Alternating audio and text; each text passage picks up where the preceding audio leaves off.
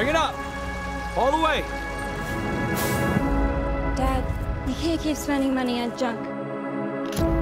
I can break it down, strip it for parts. This stuff is what's gonna put you through college. Something in here needs to make this family some money. Come on, you old wreck. Judgment Day. What the hell happened to you? Look, it's not normal steel. I don't think it's a truck at all. I think we just found a transformer.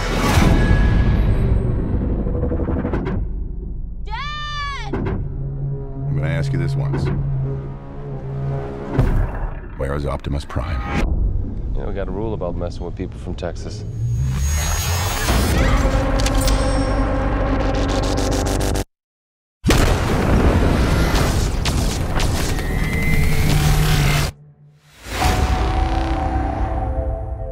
A new era has begun.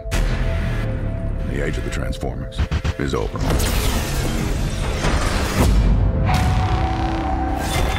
Don't you get it? We don't need you anymore.